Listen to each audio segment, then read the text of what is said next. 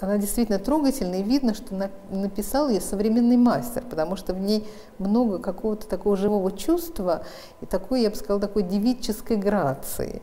Не случайно лицом выставки современной иконы «Нежная кисть» стала именно эта работа, резонирующая самим названием. Ее автор, москвичка Ольга Волкова, самая юная из участников экспозиции. Придерживаться канона и вместе с тем наполнять образ своим мироощущением с поправкой на современность – в этом и заключается суть авторской работы над иконой. «Нежная кисть» – это пять десятков икон, и все они написаны женщинами, профессиональными живописцами. Считается, что иконопись – мужская прерогатива. Действительно, до XIX века так и было, но уже в XX позиции уравниваются.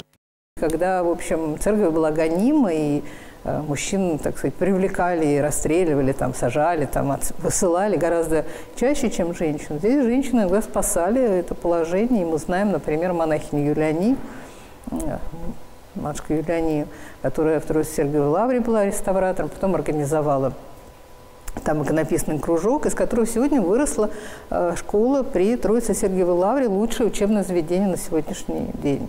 То есть практически она э, одна из немногих, кто сохранил традицию в советское время.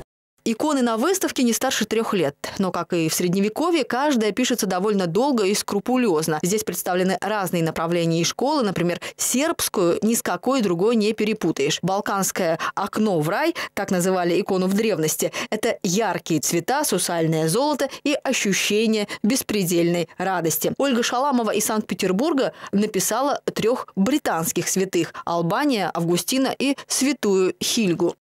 Мы всегда стараемся показать на своих выставках иконы, которые не просто вот предмет культа, да, вот, а что это художественное произведение, да, у него есть своя эстетика, у него свой язык и так далее, да, свои декоративные какие-то особенности. И вот здесь вот есть и э, такая лепнина по левкасу, есть такие украшения очень скромные, но в то же время очень значимые.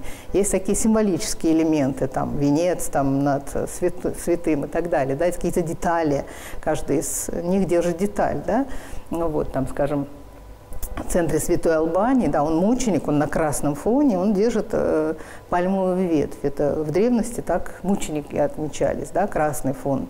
Образ крови, пальмовая ветвь, образ э, Царства Небесного. Самое ценное на выставке – сама возможность проанализировать, как изменяется канон под влиянием современности и авторского видения. Иконописцы экспериментируют с новыми формами и материалами. Например, четыре работы Ольги Обуховой из Санкт-Петербурга, копии древнего манускрипта, выполнены на полупрозрачном ониксе. В экспозицию вошли и работы иконописной мастерской Пермского Свято-Троицкого монастыря. Сама же выставка впервые экспонируется за пределами столицы. Полина Рифа, Семен Соснин, телекомпания «Ветта».